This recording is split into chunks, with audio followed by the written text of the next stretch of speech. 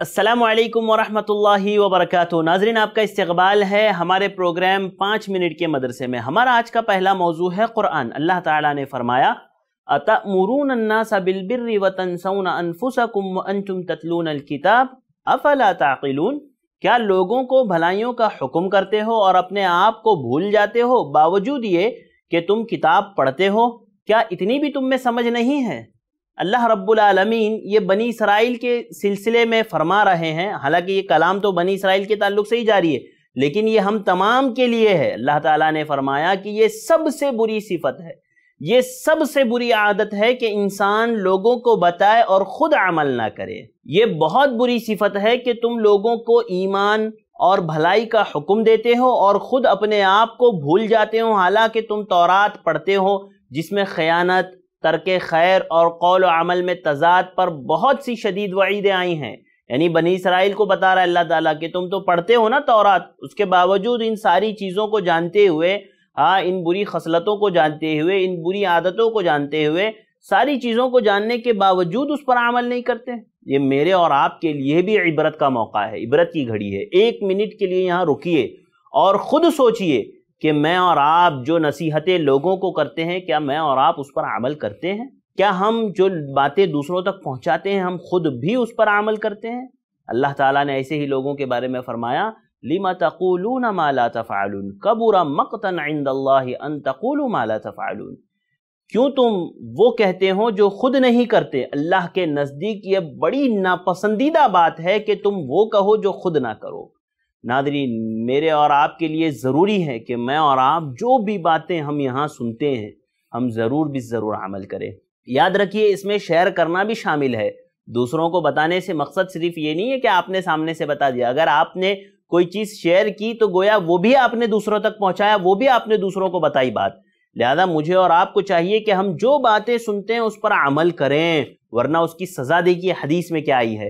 हदीस है, हज़रत अबू जैद उसामा बिन जैद रदी अल्लाह तुमा बयान फरमाते हैं कि मैंने रसूलुल्लाह सल्लल्लाहु अलैहि वसल्लम को फरमाते हुए सुना कि क़यामत के दिन एक आदमी को लाया जाएगा और उसे दोजख में डाल दिया जाएगा, जिससे उसके पेट की आंतें निकल आएँगी। पेट की आंतें निकल आएँगी और वो आंतों को लेकर के इस तरह घूमेगा, जिस तरह गधा चक्की को लेकर के घूमता है।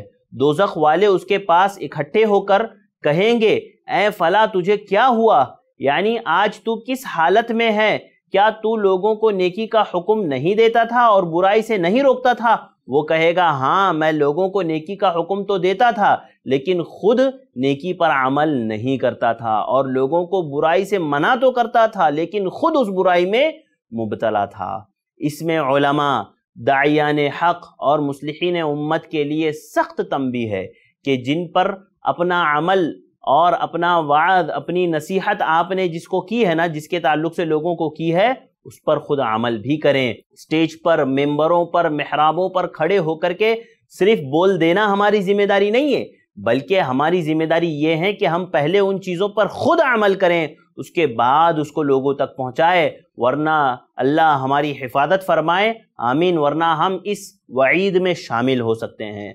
तो मेरी आप तमाम से गुजारिश है कि हम ज़रूर भी ज़रूर मैं और आप जो बातें सुनते हैं, जो बातें पढ़ते हैं, समझते हैं इन ज़रूर भी ज़रूर उन बातों पर अमल करेंगे। वरना याद रखिए, कल क़यामत के दिन इस हाल में हम हो सकते हैं। तो नाजरीन, ये चंद बातें थी जो मैंने आपके सामने रखी। चलिए चलते हैं हमारे अगले मौजू की तरफ़। लेकिन उससे पहले आपसे एक गुजारिश, आप हमारे वीडियो को लाइक कीजिए कमेंट कीजिए, शेयर कीजिए, हमारे चैनल को सब्सक्राइब करना न भूलिए। हमारा आज का दूसरा मौजू है असमाय हुसना। असमाय हुसना में आज हम बात करेंगे अल्लाह के एक नाम, अकरम के बारे में। अल अकरम, बेपाया करम करने वाला। ये नाम अल्लाह रब्बुल आलमीन ने कुरान मजीद में सिर्फ़ एक जगह ज़िक्र किया है एक वरब अकरम। पढ़िए, आपका रब बेपाया करम करने वाला है। चूँकि नबी करीम सल्लल्लाहु अलैहि वसल्लम जिब्राइल सलाम को अचानक अपने सामने पा करके घबरा गए। जब वही का सिलसिला हुआ था तो उसी वक्त अल्लाह के नबी सल्लल्लाहु अलैहि वसल्लम ने हज़रत जबरील सलाम को देख करके अल्लाह के नबी वसल्लम डर गए थे ना?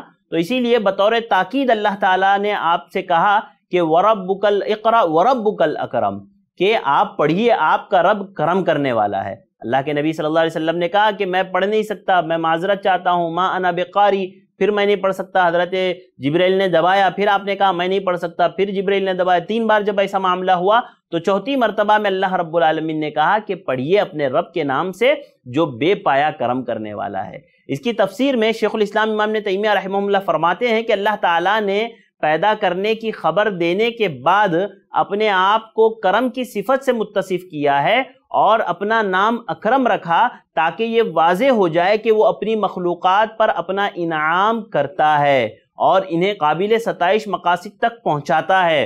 लिहाजा यहाँ पर अल्लाह ताला ने अकरम का लफ्ज़ इसलिए भी इस्तेमाल किया ताकि अल्लाह के नबी सल्लल्लाहु अलैहि वसल्लम के दिल को तसल्ली दी जा सके कि ये कोई जो है किसी और की तरफ़ से नहीं, बल्कि उस रब की तरफ़ से है जो अकरम है, बेपाया करम करने वाला है। नादन ये चंद बातें थी जो मैंने आपके सामने रखी। उम्मीद करता हूँ आप लोगों को पसंद आई होगी। आप हमारे वीडियो को लाइक कीजिए, कमेंट कीजिए, शेयर कीजिए। हमारे चैनल को सब्सक्राइब करना हरगिज ना भूलिए।